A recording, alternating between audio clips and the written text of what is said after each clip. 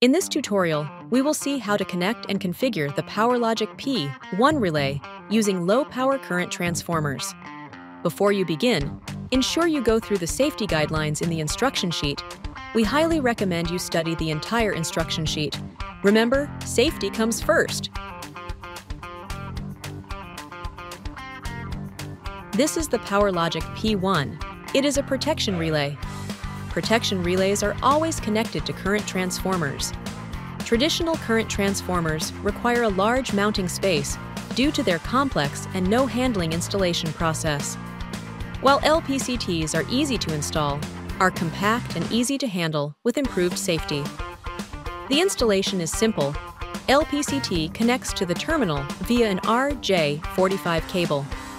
You can connect up to three LPCTs to the PowerLogic P1.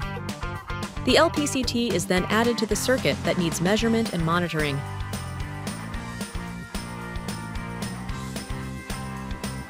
That's it. You have successfully installed the LPCT. The relay settings, including LPCT, must be done using the Relay HMI or using eSetup Easergy Pro software. The LPCT is now confirming the range value. It is safe, easy to use and flexible.